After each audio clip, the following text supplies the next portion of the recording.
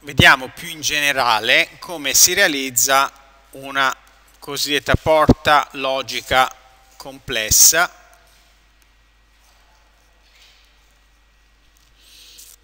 in tecnologia CMOS.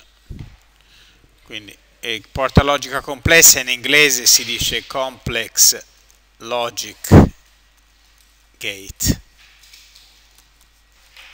Allora, abbiamo visto come si fa una NAND, come si fa una NOR, abbiamo visto che qualsiasi rete combinatoria si può ottenere con un piano AND e un piano OR, oppure due piani NAND o due piani NOR. Questa cosa l'abbiamo vista insieme. Adesso vorrei farvi vedere come è possibile, una volta che abbiamo definito una funzione logica, realizzare un circuito, cioè una porta logica complessa, che ehm, svolga quella funzione logica. Dunque, qual è il eh, principio generale? E se io ho una funzione y di alcuni ingressi, immaginate che y sia un uh, numero binario e anche a, b, c e d siano ingressi binari. Questa f è una funzione generica che può essere descritta, come sappiamo, da una somma di prodotti o da NAND di NAND, eccetera, eccetera. Adesso non ci ehm, interessano questi dettagli. Come è fatta una, una porta logica complessa? Nel caso più semplice è fatta in questo modo. Ha due reti, una rete che si chiama rete di pull up, pull up network,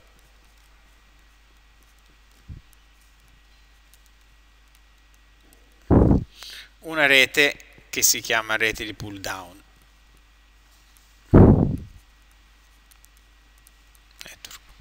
Le due reti sono collegate in questo modo dall'alimentazione alla massa e ricevono come ingressi le variabili di ingresso della funzione, tutte e due.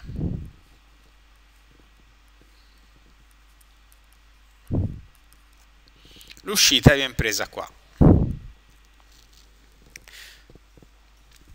Allora, tutte le porte logiche complesse hanno questa struttura. La pull-up network come deve funzionare? Per i valori di ingresso per cui l'uscita deve essere alta, la pull-up network deve essere un cortocircuito. Dunque, pull-up network deve essere on per la combinazione degli ingressi degli ingressi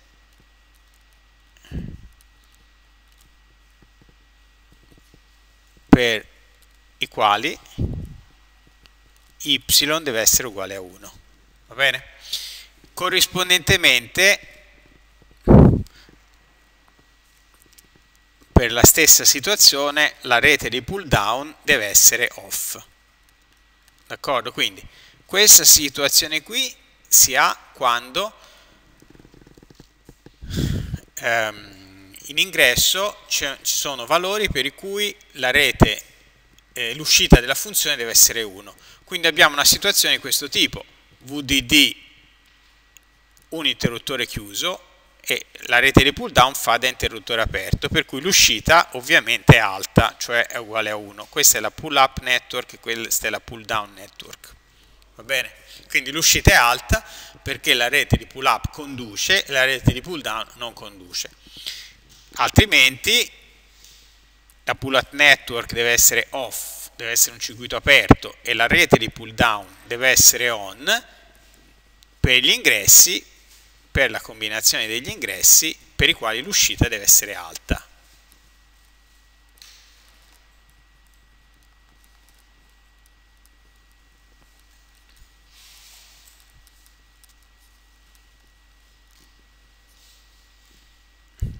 Per dunque per le combinazioni, mettiamo, aggiustiamo per le combinazioni degli ingressi per le quali, anche qui plurale, per le combinazioni degli ingressi per le quali y deve essere uguale a 0. Va bene?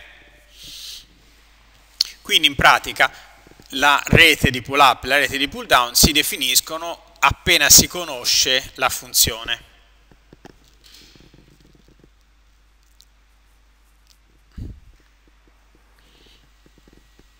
Ricapitolando, se f di ABCD è uguale a 1, la rete di pull up deve essere on e la rete di pull down deve essere off. Per le combinazioni, se, eh? invece se f di ABCD deve essere uguale a 0, allora la rete di pull up deve essere off e la rete di pull down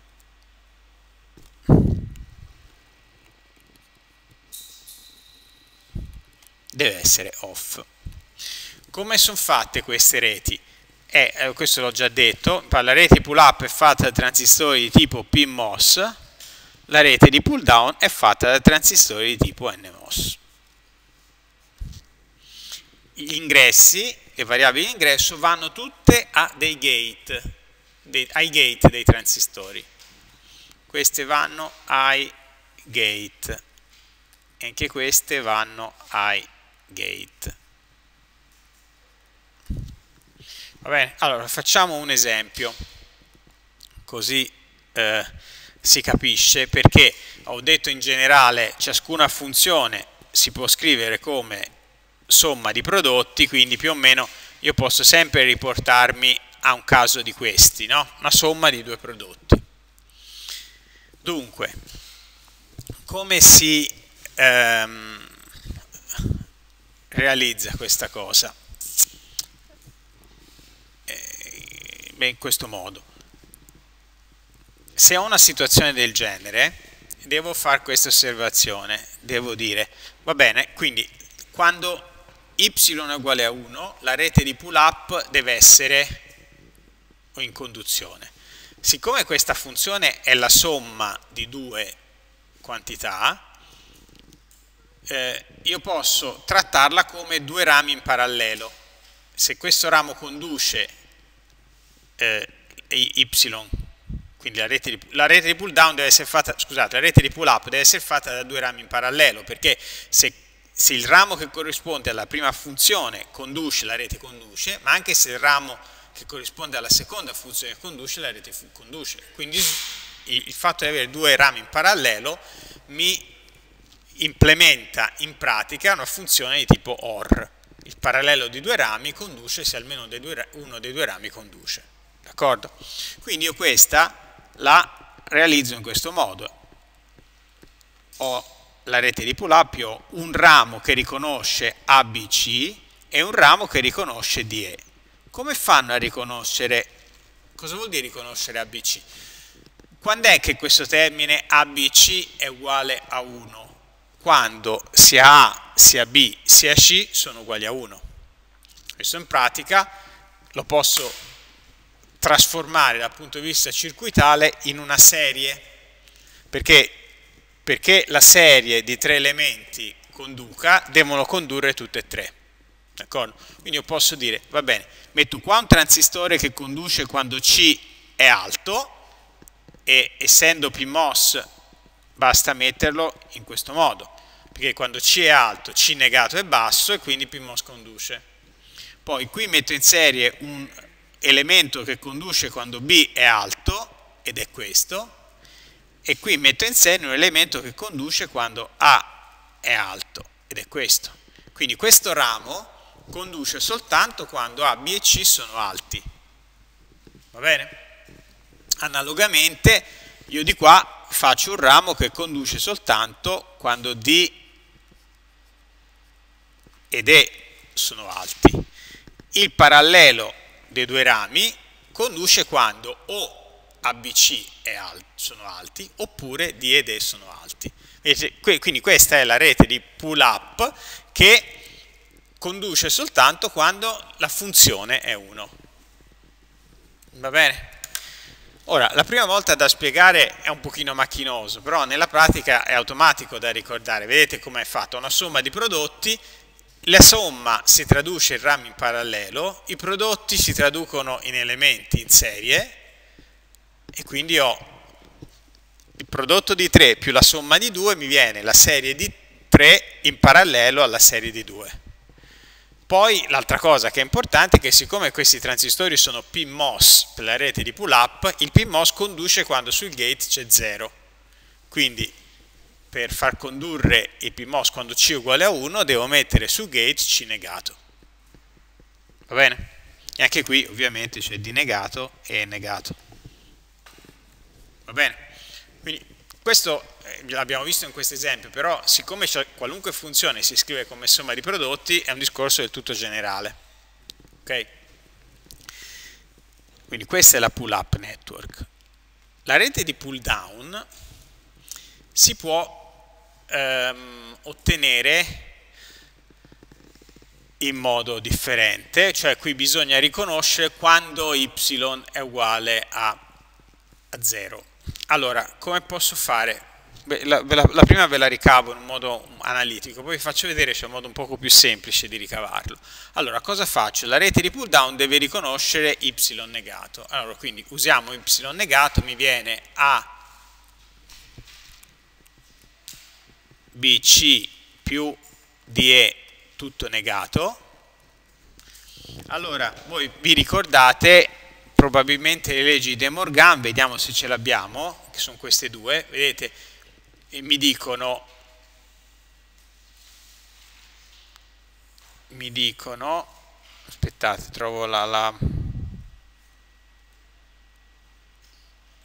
sto cercando dove l'abbiamo viste, o dove l'abbiamo viste?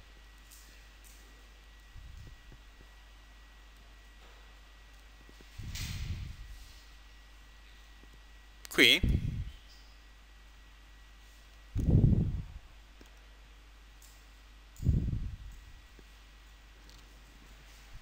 sì, allora siamo in questo caso, vedete, A più B negato mi diventa A negato per B negato. Quindi in questo caso, se torno all'ultima cosa, qua mi viene, questo, questo termine più questo termine negato, mi viene il primo termine, per legge di Morgan mi viene questo negato, per DE negato. E di nuovo applicando un'altra volta l'altra legge di Morgan, cioè ABC negato mi viene A negato più B negato più C negato, questo è il primo pezzo, che moltiplica D negato più B E negato. Quindi ho applicato due volte le leggi di Morgan. A questo punto sono in una situazione in cui è facile eh, trasformare queste espressioni in un circuito. Allora, vi ricordo che la legge, la rete di pull down deve condurre quando y negato è uguale a 1. Quindi, quando è che è uguale a 1? C'è l'end di due termini, devono essere tutti e due questi termini uguali a 1, quindi deve, per, trasformiamo la cosa in proprietà elettrica, la rete di pull down deve condurre quando è soddisfatta questa relazione e anche l'altra relazione, quindi ho due blocchi in serie. Il primo, quindi ho un blocco in serie e un altro blocco in serie. Quando tutti e due i blocchi conducono, la rete di pull down conduce. Il primo blocco da cosa è fatto? Il primo blocco è l'OR di tre quantità. Uh, L'OR di tre quantità è uguale a 1 se almeno una delle tre è uguale a 1. Quindi dal punto di vista ehm, circuitale il, questo blocco, il blocco che corrisponde a questo termine conduce se ehm, metto in parallelo tre termini, ciascuno dei quali corrisponde a uno di questi ingressi, se almeno uno dei tre termini conduce, uno dei tre blocchetti conduce. Quindi posso mettere qua un, un transistore che conduce quando A è uguale a 0, quando A negato è uguale a 1, poi in parallelo a un altro transistore che conduce quando B negato è uguale a 1, in parallelo a un altro transistore che conduce quando C negato è uguale a 1. Quando una delle tre condizioni è soddisfatte, se metto i tre transistori in serie, il blocco conduce. Quindi questo mi diventa questa cosa. mi diventa A negato, B negato e C negato. Vedete perché devo usare degli NMOS, se metto sul gate dell'NMOS A negato, quando A uguale a 0, A negato uguale a 1, quindi MOS conduce. Quindi questo qui, ops, questo, il parallelo di questi tre realizza questa funzione. Perché la pull down conduca deve, essere, deve condurre anche l'altro blocco che posso descrivere in questo modo.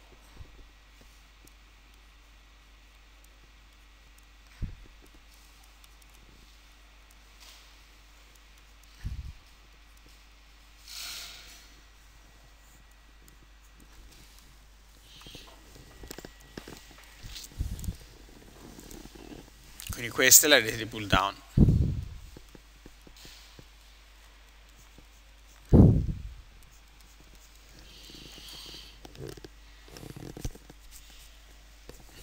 Vedete, quindi in pratica io qui ho eh,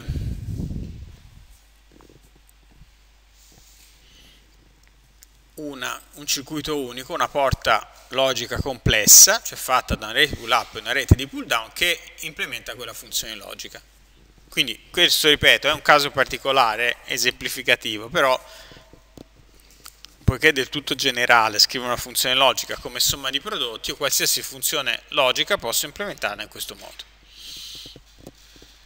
Oh, la cosa che vi vorrei far notare è che la rete di, come, come eh, sapete, la rete di pull up e di pull down sono complementari, nel senso che per una certa configurazione degli ingressi una conduce e l'altra no.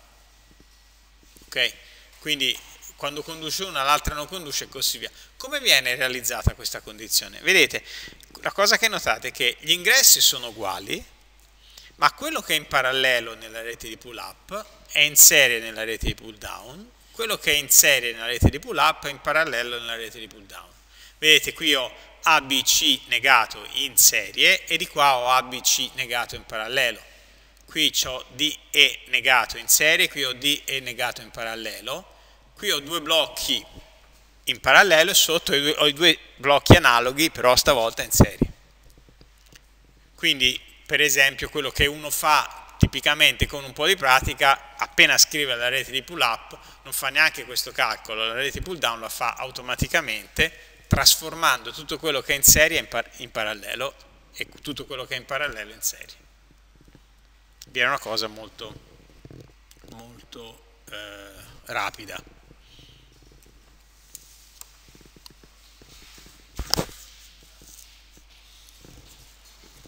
D'accordo?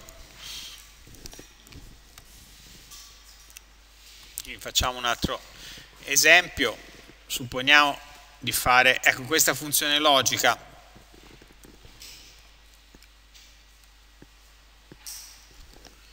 che è, questa è una funzione logica che si chiama OR esclusivo, uh, OR esclusivo, eh, si chiama anche XOR, dove questo X sta per exclusive OR. L'OR esclusivo ha questa tabella di verità, diciamo si ricorda bene perché è uguale a 1 quando gli ingressi sono diversi ed è uguale a 0 quando gli ingressi sono uguali. Quindi 0, 0, 1, 1, 1, 0, 1, 1, 1, 0.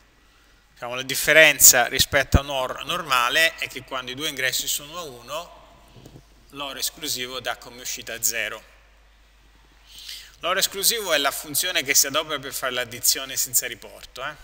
Vedete, se, pensate, questa è un'addizione in, in, un'addizione senza riporto in base 2. 0 più 0 fa 0, 0 più 1 fa 1, 1 più 1 fa 1, 1 scusate, 1 più 0 fa 1, 1 più 1 fa 0 e porto 1 in base 2, quindi c'è l'ultima cifra, mi, mi è data da loro esclusivo. Allora, dal punto di vista del della scrittura come somma di prodotti, che è il primo esercizio che devo fare, io lo posso rappresentare, vedete come è fatto, in pratica non semplifico niente, qui c'è 0, 1, qui c'è 0, 1, io ho questo, questa uh, mappa di Carnot e quindi non posso semplificare niente, mi viene y uguale ad a b negato più b a negato. Quindi ho questo termine più questo termine. A questo punto posso scrivere la rete, faccio quello che ho fatto ora, faccio prima la rete di pull up, quindi ho questo termine, due transistori in parallelo ad altri due, quindi so che è fatta così la rete pull up, qua devo mettere A negato B e qui devo mettere B negato A, quindi questo termine e questo termine, e poi questa è la rete di pull up.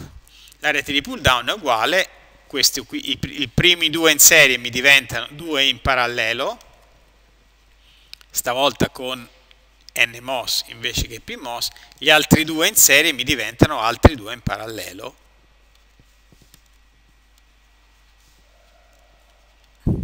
E questo va a massa e l'uscita la prendiamo qua. Pronti. Vedete quindi funzione logica, tabella di verità, mappa di Carnot, eh, circuito.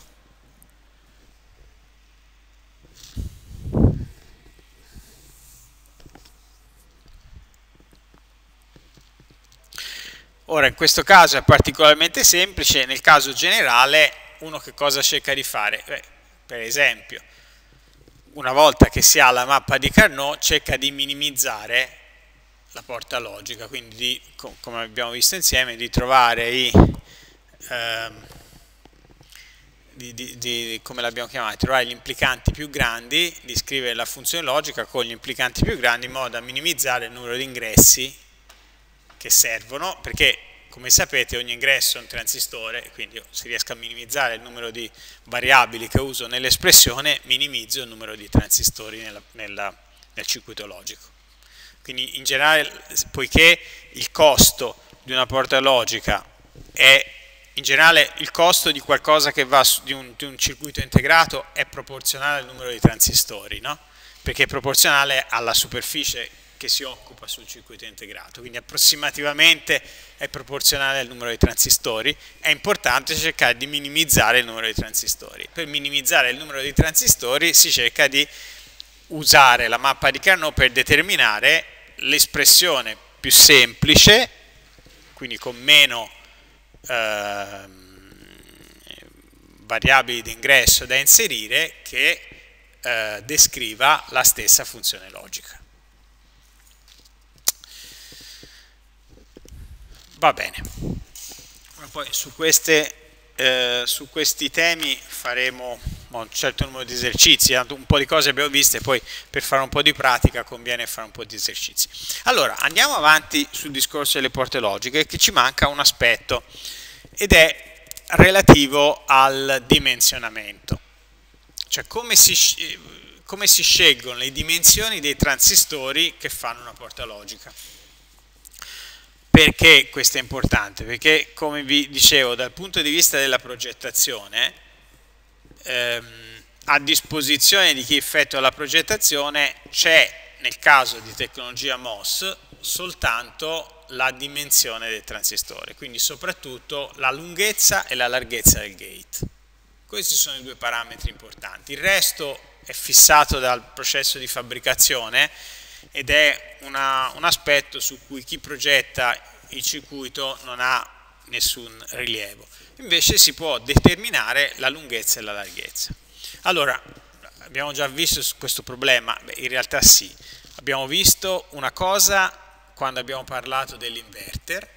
Se vi ricordate abbiamo visto che nell'inverter se si vuole l'inverter bilanciato e quindi vogliamo per esempio avere anche i tempi di propagazione uguali nella transizione verso l'alto e nella transizione verso il basso, dovevamo avere il rapporto W su L dei due transistori inversamente proporzionali ai rapporti delle mobilità. Ok? Vediamo però nel caso più generale una porta com'è che si scelgono. Quello è un criterio che va bene per l'inverter. Come si scelgono le dimensioni per una porta generale? Allora, vediamo di scrivere il criterio generale. Criterio di dimensionamento.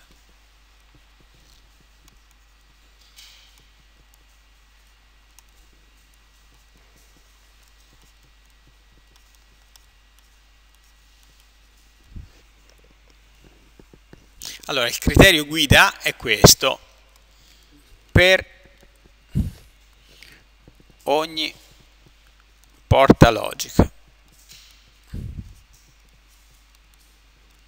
E per ogni combinazione degli ingressi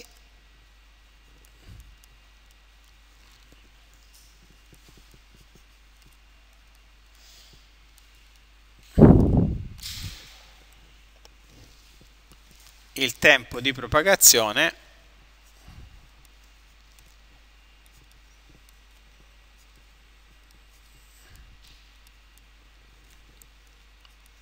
deve essere minore o uguale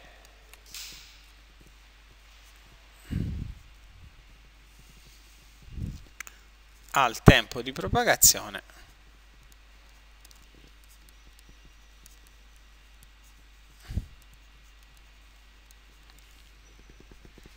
di un inverter.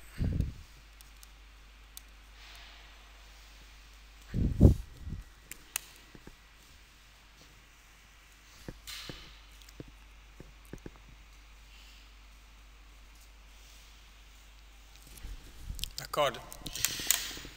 Qual è il, il, il, razionale? Che cosa vuol dire questo? Eh, vuol dire che io una volta fissato il tempo di propagazione di un inverter, sia nella transizione verso l'alto sia nella transizione verso il basso perché faccio in modo che siano uguali.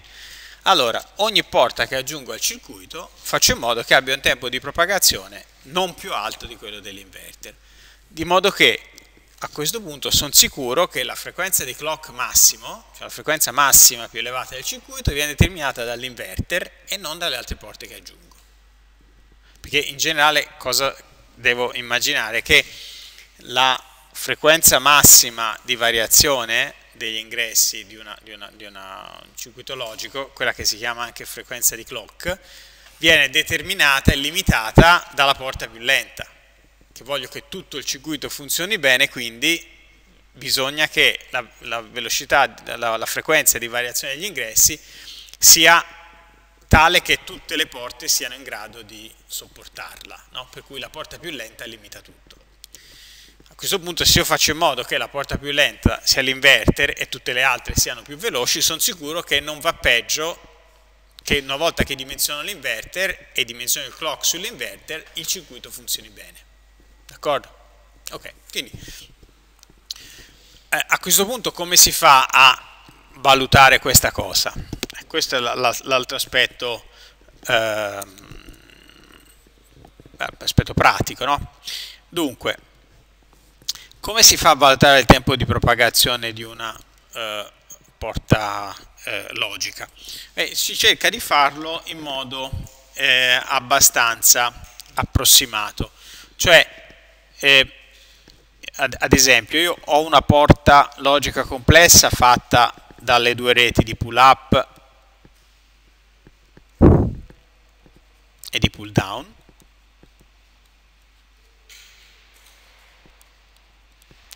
guardiamo la transizione dall'alto verso il basso. Beh, io immagino di avere un carico, che è questo, che come nel caso dell'inverter descrivo con una capacità totale, e immaginiamo la transizione dall'alto verso il basso dell'uscita. Nella transizione verso il basso che cosa avremo? Avremo che il, ehm, la rete di pull down sarà in conduzione, e la rete di pull up sarà interdetta e quindi la capacità si scarica attraverso la rete di pull down. Quindi è molto simile al caso dell'inverter. No? Nel caso dell'inverter la scarica avveniva attraverso l'NMOS, in questo caso invece la scarica avviene attraverso la rete di pull down, in cui possiamo avere non solo un NMOS ma più NMOS in serie in parallelo.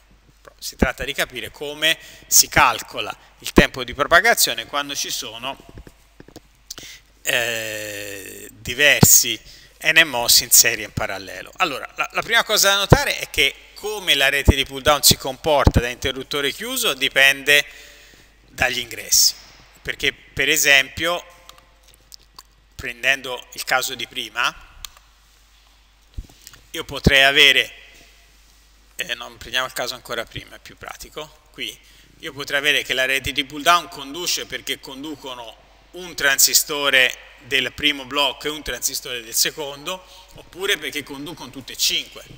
Chiaramente il tempo di propagazione può essere diverso, se conduce solo un transistore, quindi c'è soltanto un percorso, oppure se ce n'è di più di uno. Allora, com'è che si valuta? Si valuta in questo modo, si guarda quali sono i percorsi. Eh, ehm, il, qual, qual il, si valuta sono, qual è il percorso più lento, quello che mi, sicuramente mi dà luogo a un tempo di propagazione più, eh, eh, più, più, più, lento, quindi il percorso che ha impedenza maggiore, e, e, si fa in modo che per quello il tempo di propagazione sia minore di quello dell'inverter. Per esempio, tornando su questo circuito, guardando questo, qual è la situazione peggiore del, della scarica, no? della transizione dall'alto verso il basso? Questo si capisce bene. La, la condizione peggiore è quando c'è solo un transistore sopra che conduce tra ABC negato e solo uno sotto. Quello è il caso peggiore. Se poi oltre a quello conduce anche qualche altro transistore, vabbè, la scarica avverrà più rapidamente, perché ho un, un, dire, ho un percorso aggiuntivo, quindi l'impedenza complessiva del sistema, de, de, de, della rete eh, si riduce. Quindi mi concentro sul caso peggiore. Allora, se il caso peggiore è fatto da un solo transistore, se avessi soltanto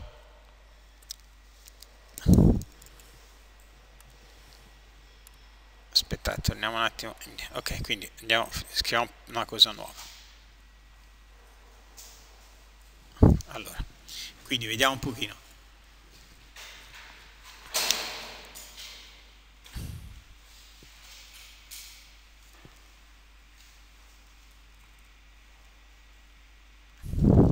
Allora prendiamo il caso della rete di pull down. Poi il discorso per la rete di pull up è uguale se ho più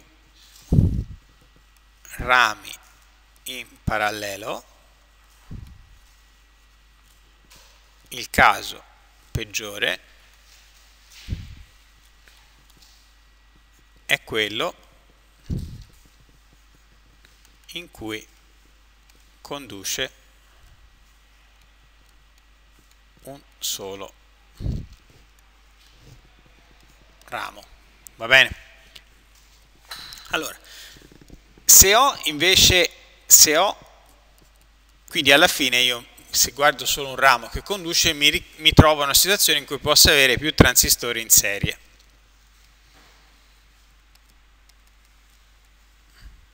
Come mi comporto con più transistori in serie? Immaginiamo una situazione di questo tipo, che è quella che ho per esempio con una eh, con una NAND, no? cioè A e B. La scarica avviene attraverso due transistori in serie.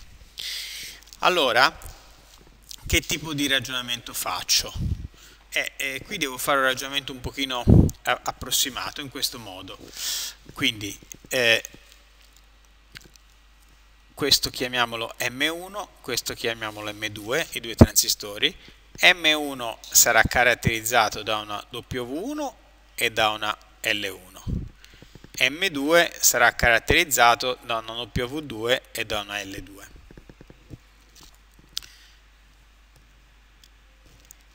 E per semplicità guardiamo quando sono in zona lineare i due transistori. Allora avrò che la corrente in M1, I1 chiamiamola, è uguale a K1, il K del primo transistore, per VGS1 meno VT, uh, per VDS1, qui c'è un 2, e I1 e I2 invece, I2 che passa attraverso il transistore 2 sarà uguale a 2K2 eh, per VGS2 meno VT per VDS2. Allora, approssimativamente questo, questo, mm, questa corrente possiamo scriverla anche come 2K1 qui che moltiplica, beh, VGS all'incirca è VDD, perché sul G applichiamo VDD, l'S non è 0, ma insomma più o meno è vicina a 0, quindi va bene così, per VT diviso VDS1, per VDS1. Questo qui sarà 2K2 VDD meno VT per VDS2. Allora, questo che cosa vuol dire? Vedete che il primo transistore si comporta all'incirca come una resistenza di valore l'inverso del coefficiente della VDD. Quindi in pratica la cosa assomiglia a, a quella di avere una, sì, una resistenza R1 che è questa roba qua l'inverso di questa roba, vediamo un po' di scriverla in questo modo.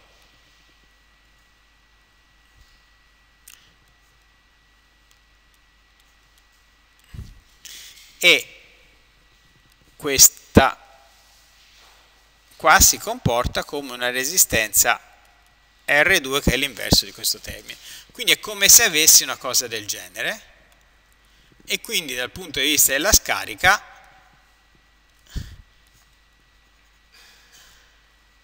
si comporta come se avessi una resistenza equivalente che è pari alla somma di R1 più R2.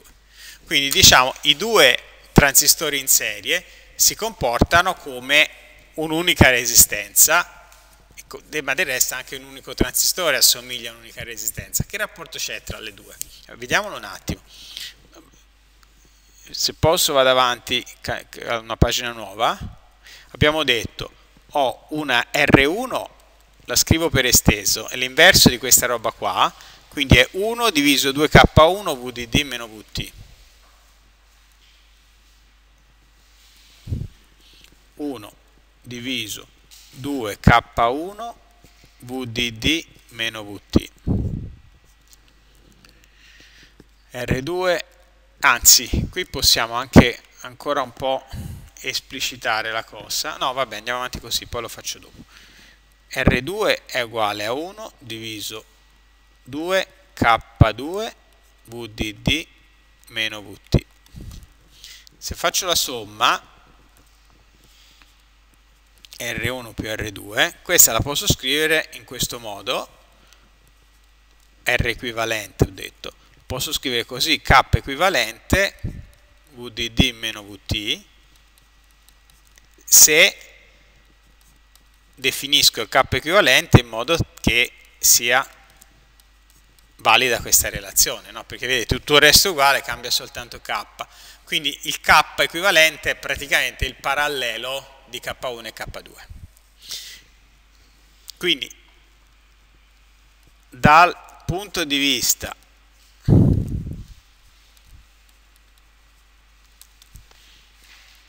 del tempo di propagazione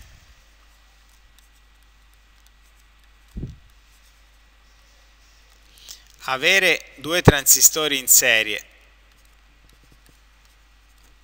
con un certo K1 e con un certo K2 equivale ad averne uno no? un transistore equivalente con un certo K equivalente, che, dove questo K equivalente è il parallelo di K1 e K2.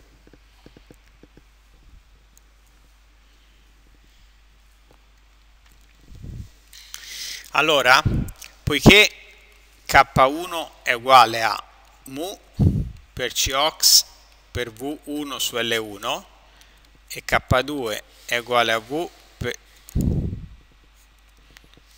per Cox per V2 su L2 allora di nuovo il K equivalente sarà un mu Cox per W equivalente diviso L equivalente e questo vuol dire che se K equivalente era il parallelo di K1 e K2 anche W su, e, w su L equivalente sarà uguale al parallelo di W su L1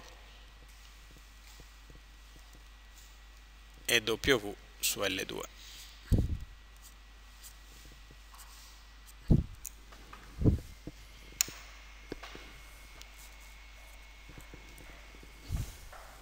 Quindi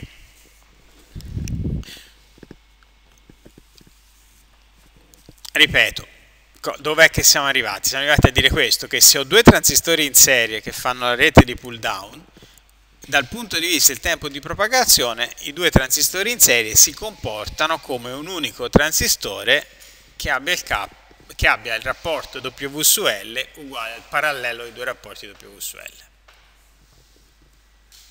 Okay. Allora, adesso arriviamo a chiudere il discorso, perché? condizioni per avere, vediamo il tempo di propagazione di un inverter com'era fatto. Noi avevamo detto che, questo l'abbiamo calcolato insieme, lo riscrivo, abbiamo detto che il tempo di propagazione, l'inverter è fatto così, ho un transistore N, un transistore P, quindi un caso particolare di porta logica. Abbiamo trovato questa relazione, il tempo di propagazione da alto a basso era Cox per VDD, non Cox, C totale,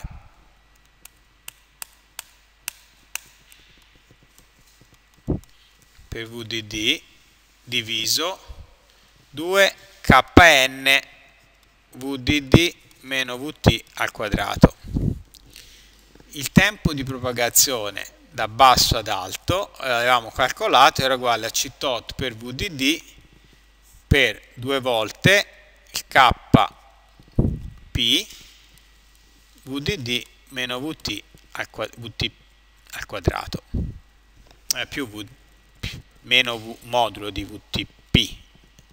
Ok, questo è Vtn, è positivo, Vtp è negativo. Quindi, allora, avevamo detto se Vtn è uguale a meno Vtp e Kn è uguale a Kp, i due tempi, allora i due tempi sono uguali e questa è la condizione di inverter bilanciato. Quindi noi ci mettiamo sempre in questa situazione, i due Kn, i due Kn e Kp sono uguali e le due tensioni soglia sono uguali.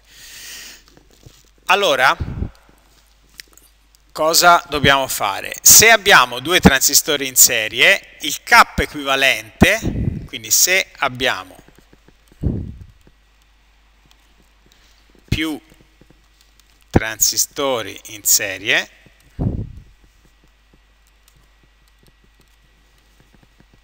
in serie il K equivalente deve essere maggiore o uguale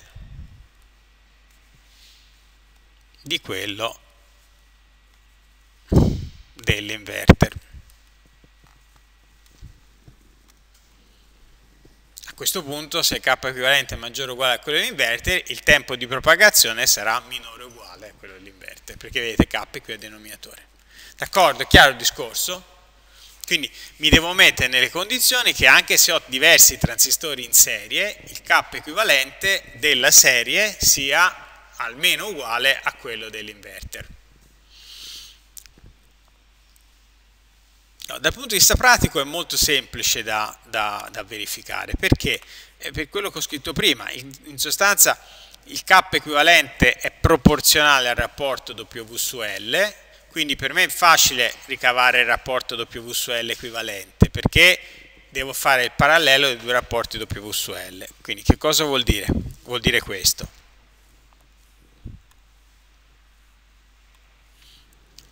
Kn dell'inverter è uguale a mu ox wn per ln. Questi qui sono w e l del nmos nell'inverter.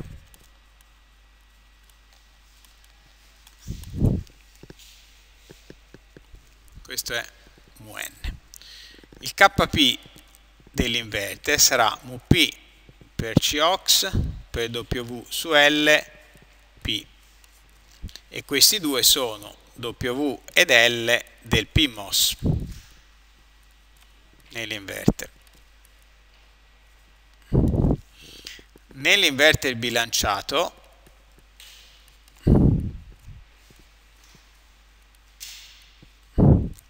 Kn e Kp sono uguali.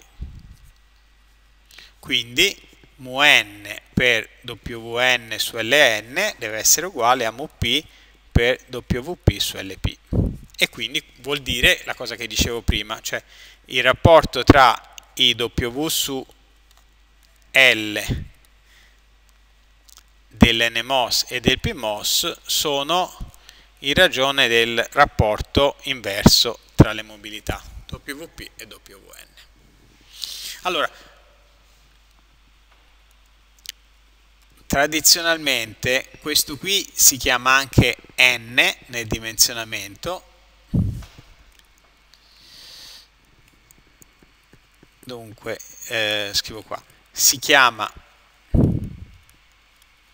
n il rapporto wn su ln e p il rapporto wp su lp spesso si cosa succede? Specialmente in MOSFET vecchi la mobilità delle lacune era più piccola della mobilità degli elettroni, quindi spesso eh, P era più grande di N.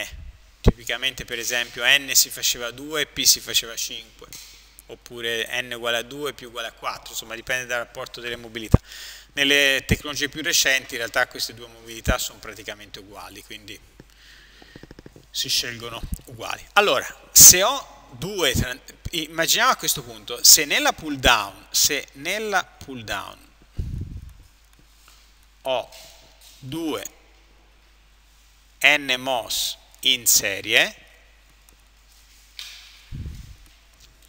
allora io so che il rapporto W su L equivalente è uguale al parallelo del rapporto W su L di ciascun transistore. Se voglio che questo sia minore o uguale del rapporto W su L del, dell'inverter, allora per esempio se ho due transistori basta che ciascuno dei due basta scegliere W1 su L1 uguale a W2 su L2 uguale a due volte il rapporto W su L dell'inverter. Ok? Se ciascuno dei due, quindi, MOSFET che finiscono in serie, lo faccio con rapporto W su L doppio rispetto a quello di un inverter, il tempo di propagazione della pull down mi viene uguale a quello di un inverter. Va bene? Quindi in generale se nella pull down network ho L NMOS in serie, allora ciascun W su L dell'iesimo transistore lo faccio con L volte il rapporto W su L dell'inverter.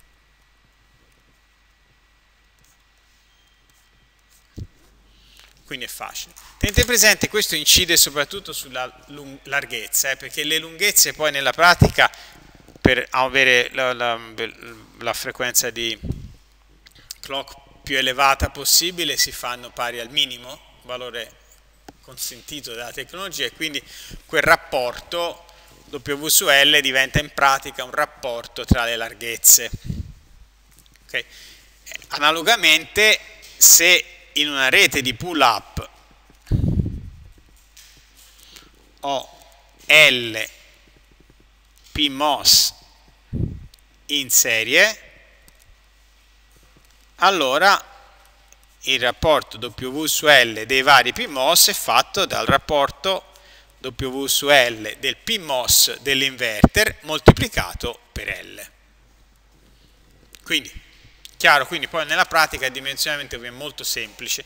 Devo tenere presente che se metto N, in pratica, se li faccio tutti i transistori di lunghezza minima, se metto L transistori in serie, bisogna che li faccia tutti L volte più grandi di quello di L volte più larghi di quello di un inverter. Quindi per esempio, tornando al al circuito d'esempio, eh, questo qua, allora prendiamolo un attimo,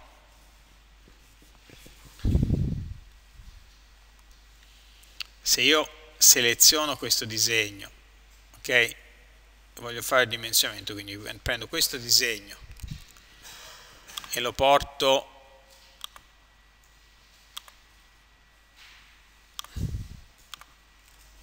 qua. Allora,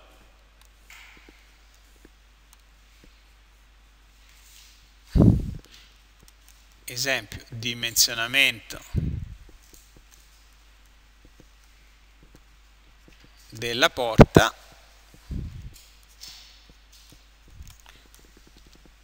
allora P è uguale al rapporto WP su LP dell'inverter del, del PMOS dell'inverter, N è rapporto W su N su Ln dell'NMOS dell'inverter. Allora, quanto deve essere il rapporto W su L di tutti gli altri? Guardiamo Vediamo prima la pull down. La pull down nel caso peggiore ho un transistore che conduce sopra e un transistore che conduce sotto, quindi il rapporto W su L dovrà essere 2N 2N. N è quello del singolo inverter, 2N 2N dovrà essere 602.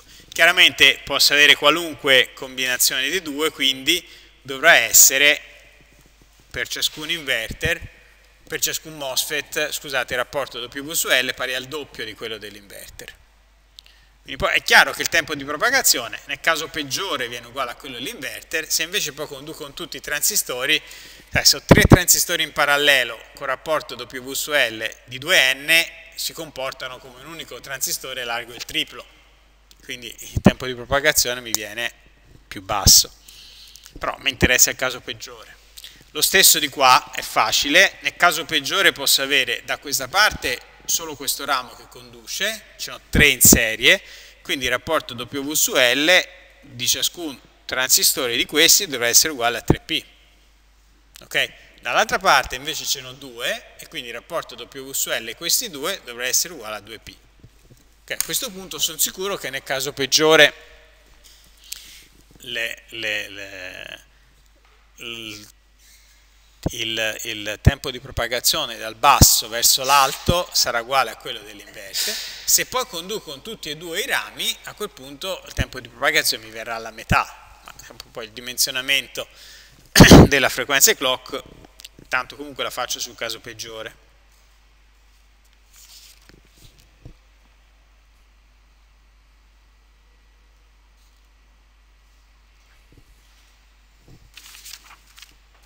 D'accordo?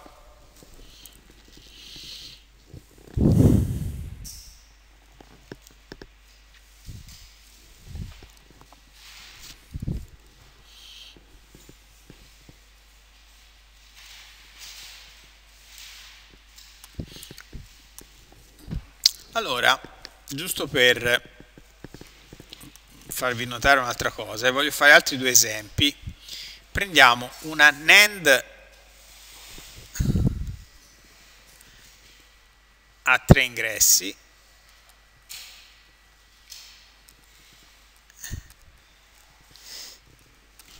E facciamo anche il conto dell'area. Allora una NAND a tre ingressi abbiamo visto come è fatta perché l'uscita è uguale a 1 se almeno uno dei tre ingressi è uguale a 1 quindi ho come rete di pull up tre ingressi sì no scusate una NAND è uguale a 1 se almeno uno dei tre ingressi è uguale a 0 quindi per avere tre, almeno un ingresso l'uscita che conduce quando almeno un ingresso è uguale a 0 devo mettere 3 PMOS in serie, vedete, in parallelo, perché quando uno degli ingressi è uguale a 0, il PMOS corrispondente conduce, quindi la pull up conduce. Invece, quando è che la rete, che l'uscita della NAND è uguale a 0? Quando tutti e tre gli ingressi sono a 1 e quindi deve avere 3 transistori in serie nella rete di pull down. Bene? Adesso facciamo il dimensionamento, quindi questi qua dovranno essere 3n e questi chiaramente almeno uno conduce, quindi ciascuno di questi singolarmente dovrà avere il rapporto W su L almeno pari a quello di un inverter. Ok? Adesso facciamo una stima dell'area occupata.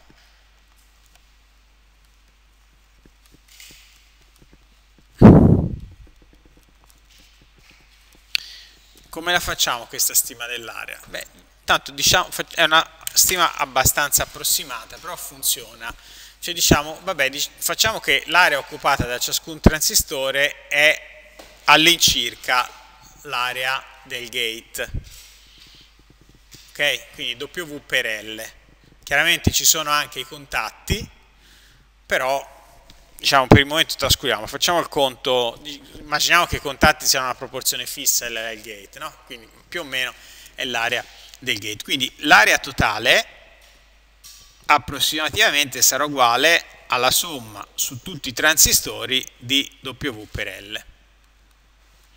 Allora, immaginando che tutti i transistori siano di lunghezza minima, io L lo posso portare fuori al quadrato e mi diventa la somma di tutti i rapporti W su L dei transistori. D'accordo? Portato, tanto questo LI è una L generica, tanto è tutto uguale. Quindi nel mio caso qui che cosa ho? Ho tre transistori che hanno rapporto W su L pari a P e tre transistori che hanno rapporto W su L pari a N. Quindi qui mi viene L quadro per 3P più 9n.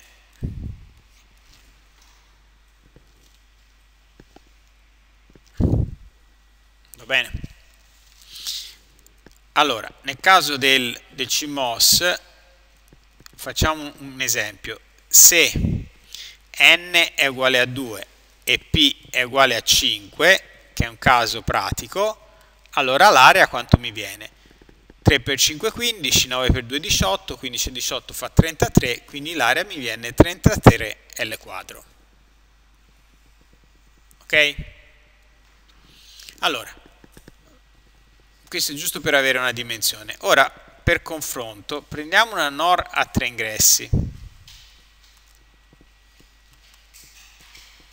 in tecnologia CMOS. Allora, questa cosa l'abbiamo già vista, eh, per cui corro abbastanza veloce. Quindi la NOR come funziona? La NOR è uguale a 0, va bene? Quando, anzi, eh, no, al contrario facciamo, la NOR è uguale a 1 quando tutti e tre gli ingressi sono 0. È l'unico caso in cui la NOR è uguale a 1. Quindi, siccome abbiamo bisogno che tutti e tre gli ingressi siano a 0, mettiamo tre transistori in serie controllati da ciascuno dei tre ingressi. Quindi la rete di pull up viene fatta da tre transistori in serie e quindi la rete di pull down viene fatta da tre transistori in parallelo. Allora, vedete, in pratica è perfettamente complementare la NOND alla, eh, la NOR alla NAND. Questa è la C.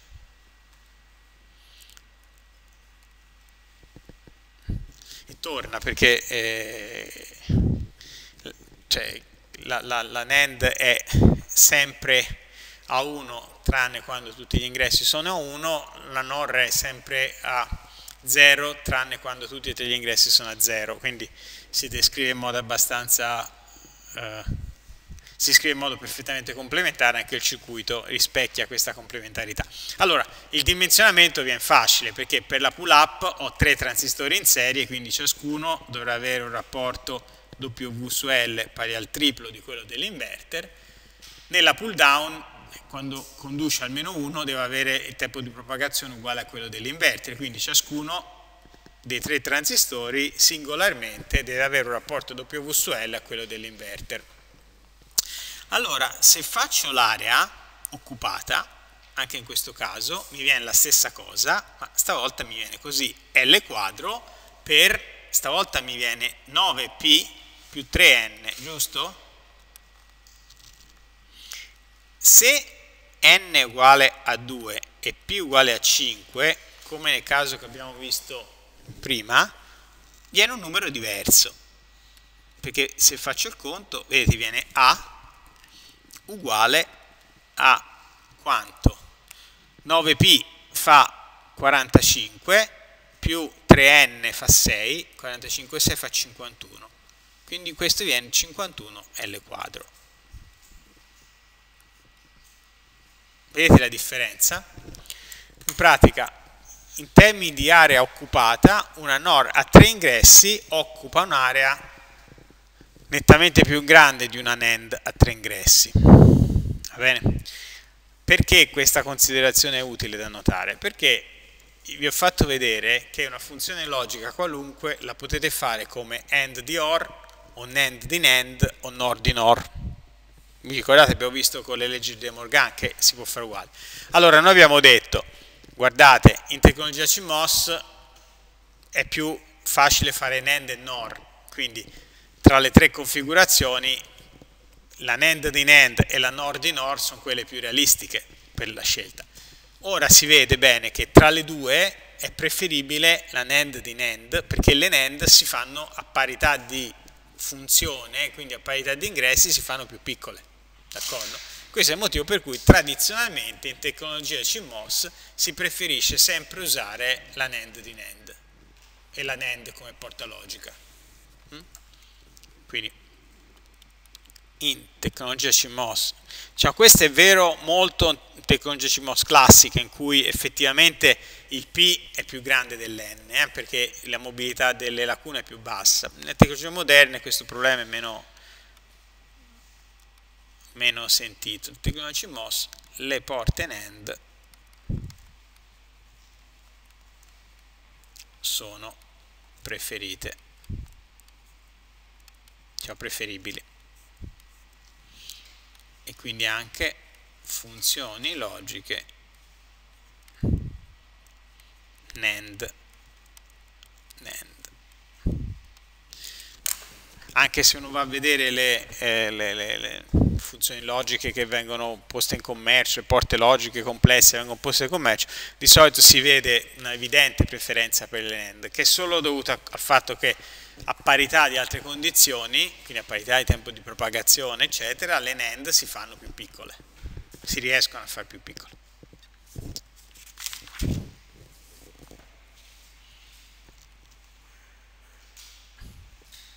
Ok, perfetto, ci fermiamo.